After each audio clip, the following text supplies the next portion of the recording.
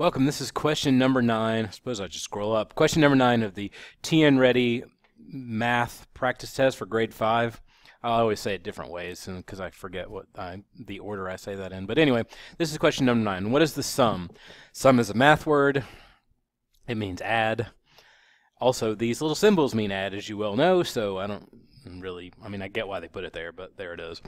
Enter your answer in the space provided. Now, these are decimal uh, values. So I need to make sure that my decimals are nicely lined up, that all my place values are looking good. That will make sure that it's much easier for me to get the correct answer. Having good handwriting and good handwriting in math does not mean the same thing as it means in like if you have nice cursive handwriting, that looks beautiful, but good math handwriting is functional. Things line up. Does things aren't shifted to the right or to the left. So when I do my 42.6, I'm going to go ahead and put some decimal points in and then work around them. So my next one is 0.45 and then 30.22. I kind of want to have, in some ways, I'll see if I can make this happen.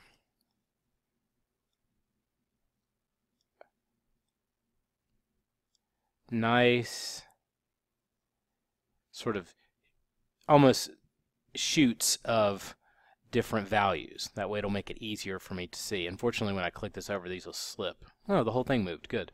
So that's what you want to have. I'm, obviously, you don't have to draw the lines, but it does make it easier to see what you need to connect together. It also shows whether you need to add zeros in to fill all the spots.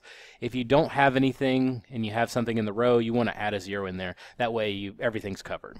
It's matched up. So in this section here, in the hundreds place, I would do 0, uh, 0 plus 5 plus 2. Well, 5 plus 2 is 7, plus 0 is still 7.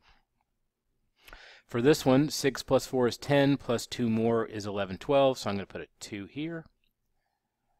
And then, because I, you can't put 12 inside this, only singles in each of the place values, I'm going to put the 1 up here for that. My decimals are all there, so I'll bring that down. 2 plus 1 plus nothing plus nothing, so that would be 3, 3, 3. And then finally, 4 plus 3 is 7, plus 0, 73.2. 7. Not a particularly difficult question. The problem comes in either A, you forget to uh, bring your 1 here, or you don't have everything in a nice order. Like if I just wrote out this,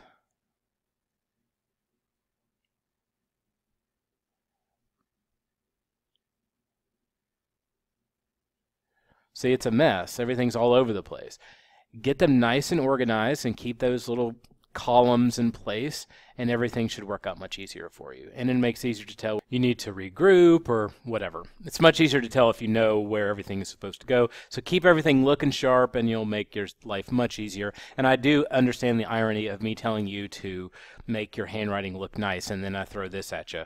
I get it. Like, I understand, but whatever. Still, do as I say in this case.